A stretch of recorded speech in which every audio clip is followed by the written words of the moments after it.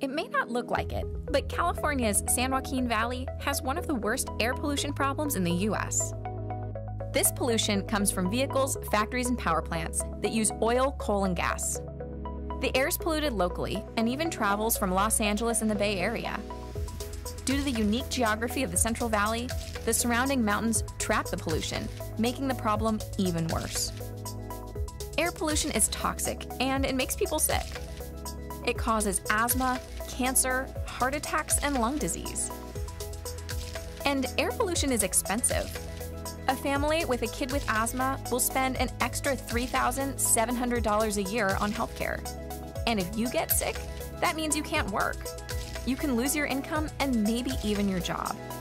So, no matter how you look at it, living with air pollution is devastating to your family. So, what are the cleaner alternatives? California leads the way in solar, nuclear, and wind energy. But a lot of that clean electricity is wasted. Our electric grid is outdated. We're not using enough modern technology to store that electricity. Instead, we're using 19th century technology, coal, gas, and oil, that keeps the Central Valley air polluted. But it doesn't have to be this way. We need to invest more in clean and safe energy technologies so we can breathe cleaner air and our children can thrive. We have to do better.